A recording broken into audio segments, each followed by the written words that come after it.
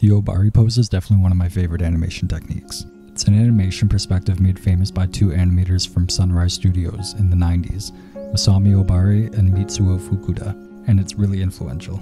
You've likely seen some iteration of it in modern anime without even realizing it. The process kinda goes as follows.